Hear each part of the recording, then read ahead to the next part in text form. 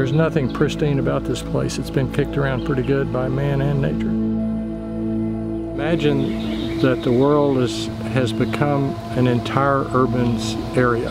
The, the world is a city. Where would nature be? It's going to be in little tiny patches out there, but it's still going to be important for us to study and understand. And it's sort of come true in my lifetime. It, there's more and more of the world, it's big urban areas and less and less of nature out there. It's really important to have patches of nature set aside for us to study and understand what we're doing to the planet and understanding the role of organisms in the ecosystem and in the processes that we depend on on the planet. Um, there is no planet B.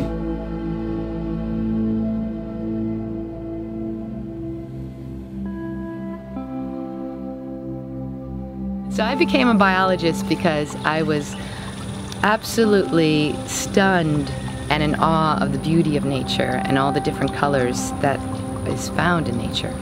And so I wanted to explore and understand why the world was as beautiful as it was. And so to get at that, I needed to study evolution. I began by looking at fish underwater and trying to understand if we could predict the different colors that they would evolve um, between the species.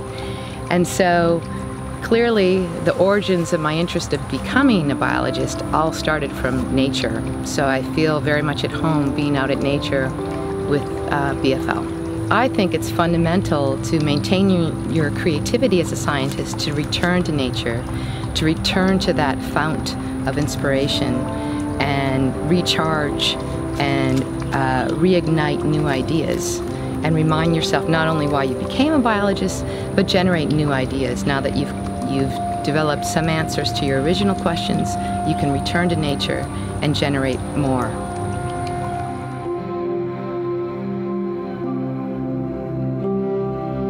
When I graduated from high school, we basically went hiking for a month, and I had to look down at the ground, uh, or I was stumbling all the time and I just started noticing all the wildflowers. And so one of the camp directors gave me the wildflower guidebook, and I started trying to learn all the plants that I was observing while I'm hiking around.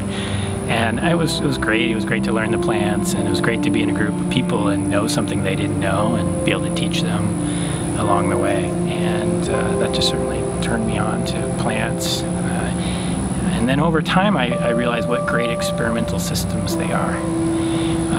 We can grow thousands and thousands of plants, so we have high replication. We can make crosses to do breeding. We really get to observe these plants over long time periods um, and watch how their physiology and actually even some of their genomic features change over time uh, in these relatively long-lived grasses. So that is one special feature about BFL. We can set up an experiment and hope to be around studying it for an extended that's actually a really important component of our research. It is super to have uh, a nice natural green space to come to do research on a regular basis, uh, you know, in an urban area. It's pretty unusual. For me, it's irreplaceable.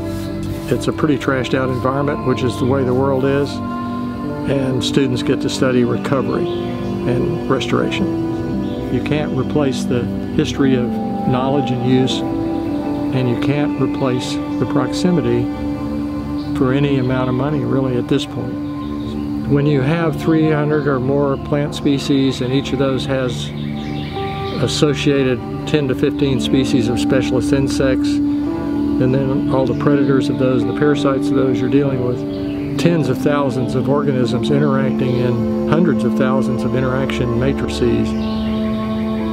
Only a few of those things are understood. And many of those are going to be very fundamentally interesting to understanding our ecosystem. And you don't have to go to Africa or some other place. You can do it right here and find a lot of new things. So all you need are students that are open-minded and come out here and look at things.